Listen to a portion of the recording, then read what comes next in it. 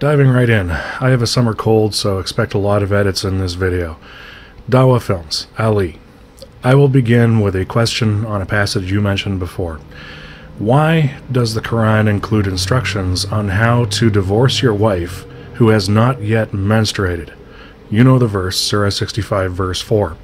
Surah 65 was created in response to questions put forward to the alleged prophet. The questions were about finer points of the rules and laws and such.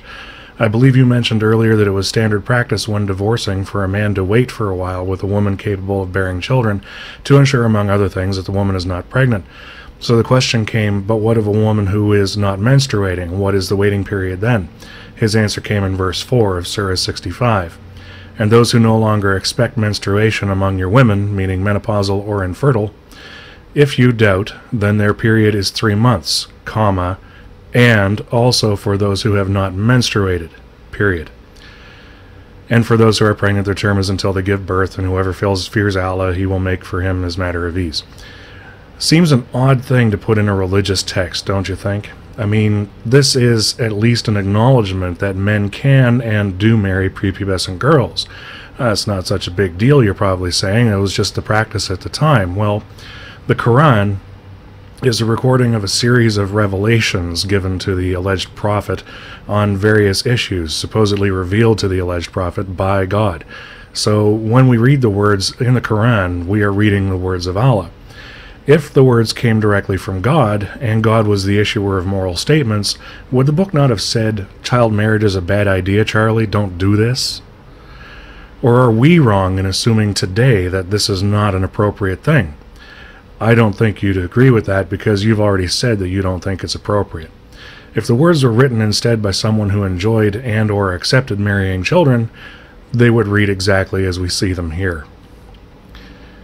Now, while I think we might agree that discussion of the practice does not equal promotion of the practice, the Quran has a golden opportunity to condemn the practice, here or anywhere within its text, and it does not.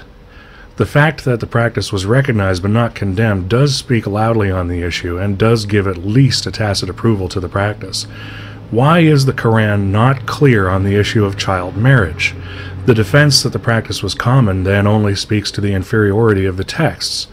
You would think, if these were divine words and given the rather distinct heinousness that surrounds child marriage, that such a golden opportunity would not go wasted by Allah in all his great and splendiferous wisdom. I believe you also make the point that the Quran doesn't include specific information on marrying a child. This may be true, however, you would have to apply the commonality argument here as well. And this complete omission of information, again, only represents another missed opportunity by the Quran to condemn it. More examples of the inferiority of the texts if they are indeed God's instruction. The fact is, Islam, even in the modern world, supports the practice. When the Ayatollah Khomeini, the top Shia authority, declares fatwas such as, quote, a man can have sexual pleasure from a child as young as a baby, however, he should not penetrate. Sodomizing the child is okay. If the man penetrates and damages the child, then he should be responsible for her subsistence all her life. This girl, however, does not count as one of his four permanent wives. The man will not be eligible to marry the girl's sister.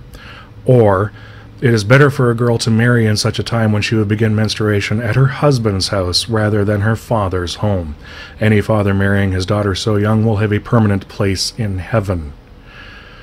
Can you really blame us infidels for thinking bad thoughts about Islam on such matters? Now, I know you're probably thinking Khomeini's a Shia authority and I'm a Sunni, so he doesn't speak for me. Well, let's take a look at what happens in a country under Sunni rule.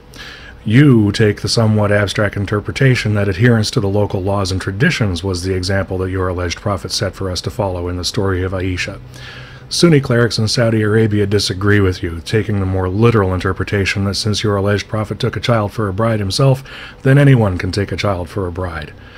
Child marriage is sanctioned in Saudi Arabia. In fact, Saudi Arabia has resisted attempts to raise the age of consent because it disagrees with their interpretation of Sharia law based on the Quran and the Hadiths. Like it or not, the Saudi example demonstrates that Islam both teaches and practices it and resists attempts to change it. I know you're also saying to yourself the Saudi application of Sharia is incorrect. Since you like appealing to authority so much, please explain how you, a brand spanking new student of Islam, have come to a better understanding of the application of Sharia than the religious scholars of a country who has been practicing Sharia essentially since its inception. The fact is that Islam does not have a glowing track record when it comes to the rights of the child or the rights of women.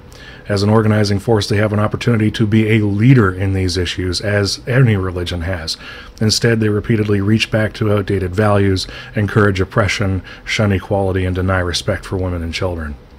This conversation has been entertaining so far, but here I fear is where it comes to an end. I don't need to refer to the Quran or any of your filthy texts to understand, argue, or refute your conjecture, since you chose to make your argument from a biological, social, and legal standpoint. We've already blown the holes in the biology argument, so in reality, your argument depends on the cultural acceptance and legal aspects of the act of taking a child of six years old as a bride. All of the discussion is superfluous. You have two possible scenarios here. One, it is not okay now, but it was okay then. Two, it is not okay now, and it wasn't okay then. The only scenario that works for you is the first one, and so of course that's the scenario that you argue. Unfortunately for you, only one of those scenarios applies to reality, and it's not the first one. Let's use slavery as an illustration. Slavery has been abolished from much of the modern world, much like your child marriage is. But slavery is still in practice today in some countries, mostly developing and third world countries, much like your child marriage is.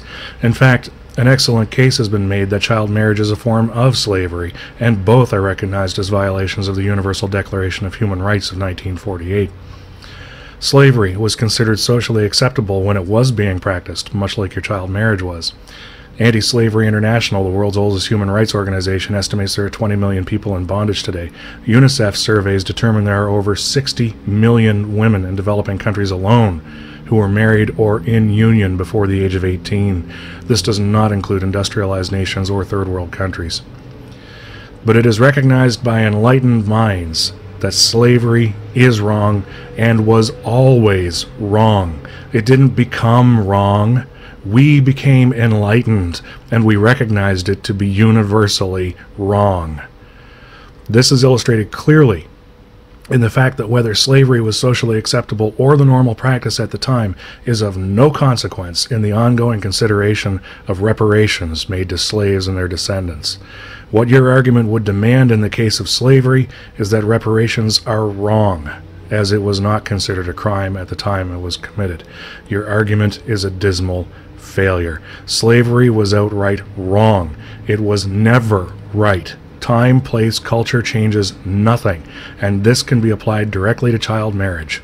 The lens of time and historical context that you use to create your conjecture, at their very best, do nothing more than to help provide an explanative narrative for why it may have happened, but at no time does it ever make it right. It may be explainable, but an explanation is not a defense.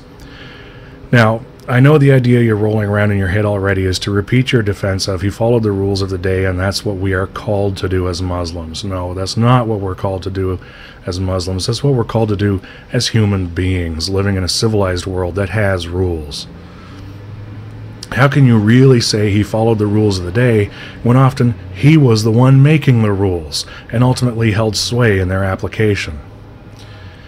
This only adds importance to the question if your alleged prophet was indeed a perfect or divine man, if he was receiving counsel directly from God himself, and if he was setting up an example for us lowly humans to be copied throughout the end of time. Don't you think that he should have been afforded the knowledge from the all seeing, all knowing Allah that taking a child bride didn't really have great optics through the lens of time? I know if I was Allah and I was trying to set up the most perfect man as an example to be held in such esteem until the day of resurrection, and being the all knowing deity that I am, I would have probably said something to the guy about marrying a kid, and I definitely would have said something about the kitty fucking. Maybe that's just me, though. I mean, this, however, leaves you with the following positions. Your alleged prophet never received any such knowledge from any such God, which breaks down into the, into the following possibilities. One, your alleged God withheld the information from your alleged prophet and allowed his example to be impure. Two, your alleged prophet was really talking to himself when he thought he was communicating with your alleged God. 3. Your alleged prophet did receive the knowledge from your alleged God and chose to ignore it, indulging in his own personal proclivities instead. Of course, this all works on the assumption that those filthy texts of yours are recorded accurately. So the fourth option is that the surahs are recorded incorrectly, bringing into question the legitimacy, the legitimacy of the entire text. Or option number 5, it's all bullshit. It makes little difference to me which one of those positions you select to defend moving forward. Your conjecture is now defeated in a way that I hope you can clearly understand. Again, this is the conjecture that you put forward to us for consideration and refutation. No interpretation of Islamic texts or scientific journals is really required to defeat it. It was defeated quite soundly with the application of something the rest of the world calls reality, and the only argument you have left is to rage against reality like a lunatic. And as a new friend of mine recently said to me, when you fight reality, you lose 100% of the time. I had prepared a much longer script addressing even more of the points along your conjecture, but I figured it was time to just cut to the chase. If you figure your conjecture is still viable, I've got plenty of ammo left to plug into the carcass of your conjecture. It's never too late to do something about that poor decision, Ali. For my subscribers, I do have another video nearing completion that will end up being a series.